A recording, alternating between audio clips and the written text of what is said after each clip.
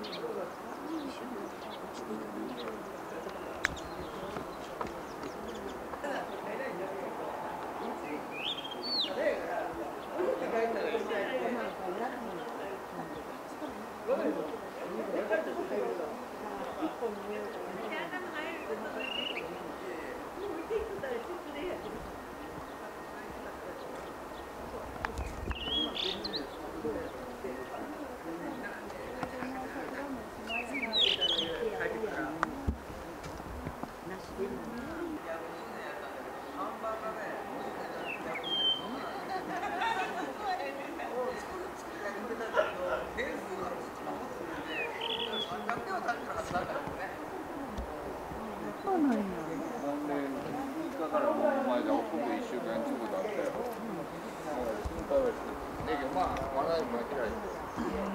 あ、落ちた。な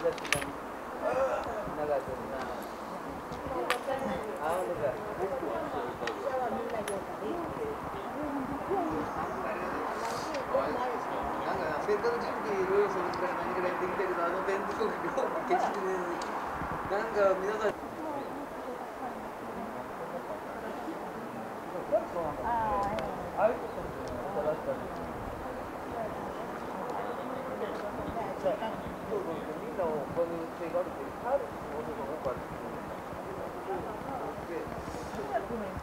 に行ったらもうあらららら終わってるわこれよく新しい方も来るんでリリークのことよく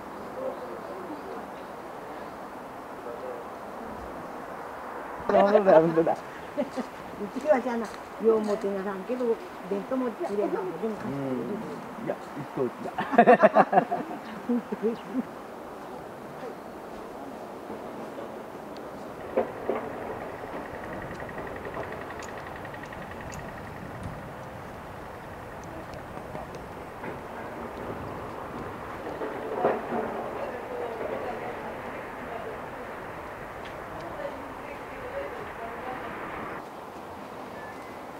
も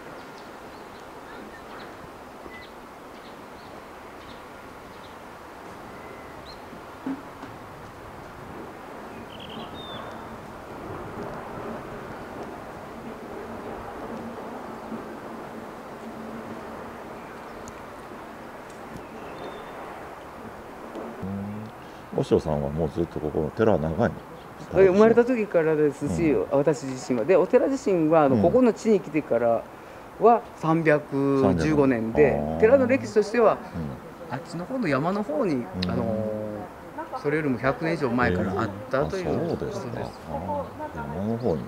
はい、うん。だからひょっとしたらその、うん。樹齢が300年ぐらいと地元さん言うんで、うんそれは文献はないんですけども、うん。本土というか太陽寺が移転してきた歴史は316年前なんでその時ぐらいにああ植えて。かなとあ思います。よくわかんないですよね 本当はね。はい。うん。じゃあ別にあれでしょ？修行とか修験の寺だったっていうわけではない。いですじゃないよね。場所が移っただけ。そうです。うん。じゃあ檀家さんはみんなこの辺り？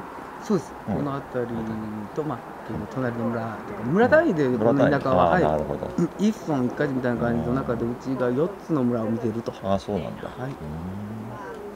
うん。いや素晴らしい、ね、手間かかるでしょ。あのーまあ老木なんで、うん。すごく効果が見えやすい化学肥料みたいなものは使えないので、うんまあ、漢方薬みたいな油かすをまくとかああと土がこう踏み固められるのをほぐしたり、あやっぱあとそこに水を入れて土を柔らかくしたりとか、へそういったことそして折れた枝を、まあうん。薬を塗るようにしてそこからばい菌が入らないようにするとかそういった感じですね。そうですか、うん、素晴らしい。これ雪と桜が一緒ってことあるんですかね。それがないいやこの度があ4今回さ月はい。初めて。